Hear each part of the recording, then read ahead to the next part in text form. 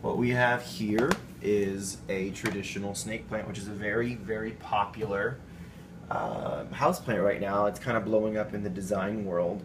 Uh, a lot of people are taking these home. You're seeing them at Home Depot. You're seeing them at Lowe's. You're seeing them at your local garden centers. Uh, they are one of the easiest plants to take care of. They are not picky or fussy when it comes to the location. 50 to 80 degrees Fahrenheit.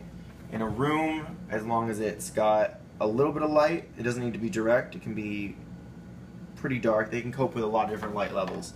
But the trick with, with most houseplants is how to water them properly. So with a snake plant, uh, during the growing season, you want to water them moderately. And what that means is um, unless in the winter. What that means is you take you take your finger and you stick it down here in the soil, and if you cannot feel that it is wet, if it's not, it's just a little bit damp in here, then it can be ready to water. You never want to water a snake plant when the soil is still wet. So what you'll do is you'll have a tray down here.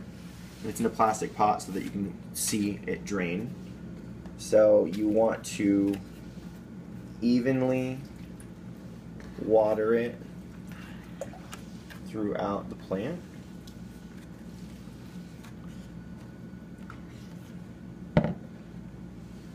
Until it drains through the bottom.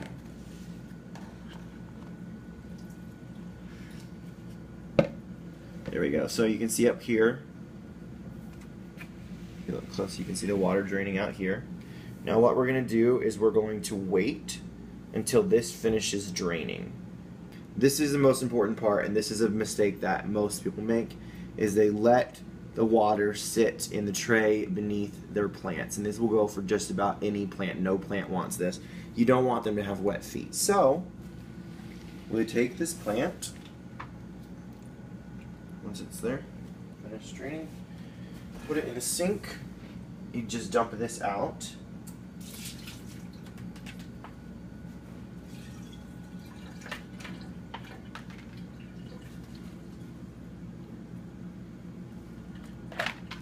And then you go ahead and put it back where it goes. You want to keep